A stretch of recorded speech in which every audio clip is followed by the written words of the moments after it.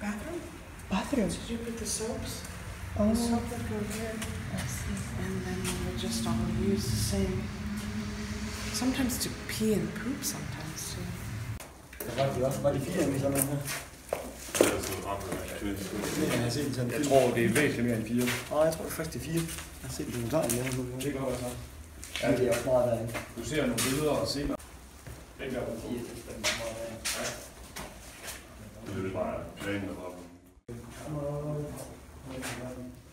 Maybe like they scratch off every time they kill somebody or they hurt them or something like that.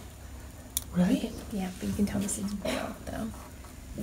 アウシュビッツに来ていますガス室で殺した後ここのあの焼却所で死体を燃やしたらしいんですけれども無数にあります You can see the end of the wooden shack すごい迫力ですとっても悲しい This train came here all the way from there to here and they go straight to gas chamber at the end of the wall.